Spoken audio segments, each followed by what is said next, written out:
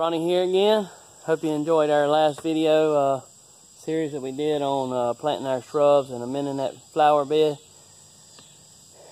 Got, uh, like I mentioned in that video, we got a hurricane that's moving in. It's going to bring a lot of rain. I've been trying to get some uh, some sort of a grass or something established in our yard.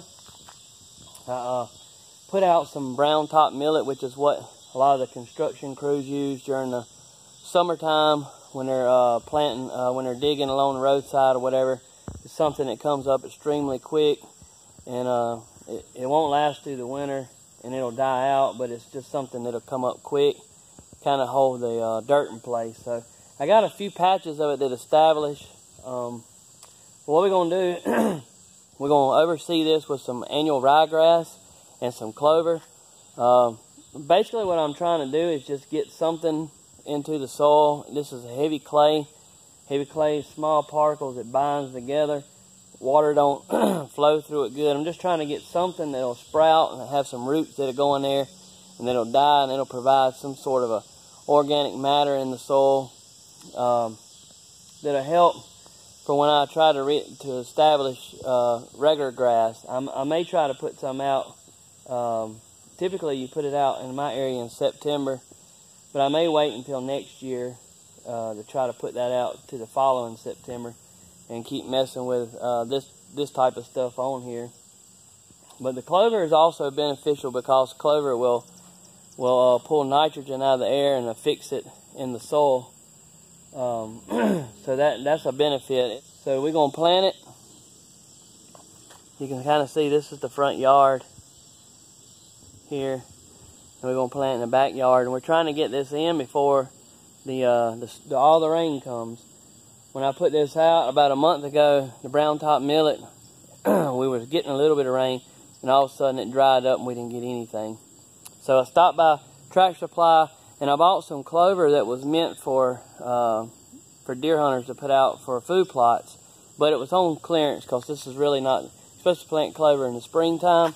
And then this is actually the time to buy ryegrass, but as you can see here, this ryegrass has a big hole in the back, so they had it for for 50% off. It's it's had some leak leaked out, so uh, instead of it being like $40 a bag, it was like $29 a bag. I think it was normally 44.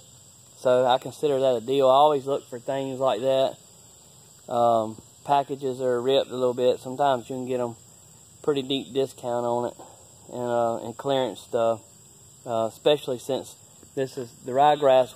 This, this is annual ryegrass, so it will die also. It'll actually last through the winter. The ryegrass will be green through the winter.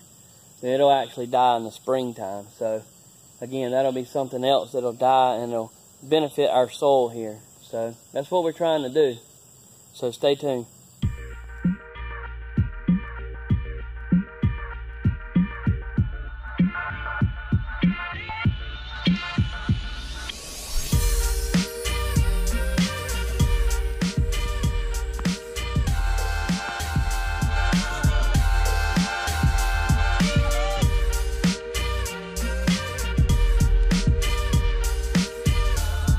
Hey, you gonna help me put out some grass seed? Come on. Come on. Put some grass seed out, buddy. Come on.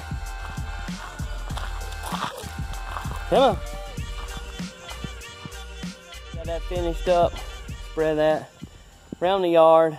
I have a good feeling a lot of it will come up where this other stuff is already coming up mixed in with the straw and the, the other uh, millet that I put out. I want to show you a quick update on the rototiller and then we'll end this video. And to my buddy Bill, Bill, you see I'm red again. There's no sun out here. There's no sun when I started. That's just what happens to us Irish folks, guys. We just we just get red face when we work, buddy. Just what happens.